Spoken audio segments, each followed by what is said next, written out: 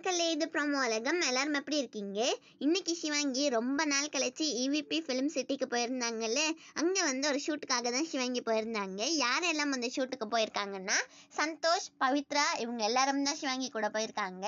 அது என்ன ஷூட்டுன்னு உங்க யாருக்கா தெரிஞ்சதுன்னா நீங்க கமெண்ட்ஸ்ல சொல்லுங்க மக்களே. இன்னைக்கு சிவாங்கி பல மாசங்கள் கழிச்சு பாடின பாட்டு வந்து ரிலீஸ் ஆகிடுச்சு. அது என்ன பாட்டுன்னா நெஞ்சமெல்லாம். அருண் விஜயோட புது படம் சினம்ங்கிற படத்துக்காக தான் சிவாங்கி ஜிவி பிரகாஷ் கூட இந்த பாட்டு பாடியிருக்காங்க. அவங்களே வந்து ரொம்ப மாசம் கழிச்சு சுனம்ங்கிற படத்துல இருந்து ஒரு பாட்டு பாடியிருக்கேன் அப்படின்னு சொல்லியிருந்தாங்க மக்களே. மக்களே சிவங்கி வந்து கனடால இருந்து வந்துட்டாங்க. ஆனா ஸ்ரீதர் சேனா கார்த்திக் தேவராஜ் இவங்க எல்லாருமே வந்து கனடால இருந்து வந்த பிறகு திருப்பி அவங்க ஆஸ்திரேலியாலாம் போயிருக்காங்க. அங்கேயும் கான்சர்ட்ஸ் எல்லாம் நடக்குது மக்களே. சிவங்கியும் வந்து திருச்சி சென்னையில எல்லாம் கான்சர்ட்ஸ் எல்லாம் பண்ண போறாங்க.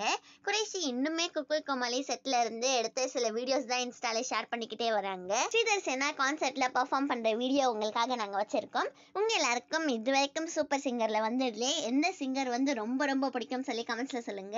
எனக்கு சிவாங்கி தான் மக்களே உங்க எல்லாருக்கும் யாரு? அப்படியே நீங்க ஃபர்ஸ்ட் டைம் ப்ரோமோலகம் சேனல் பார்க்குறீங்கன்னா சப்ஸ்கிரைப் பண்ணிக்கோங்க மக்களே.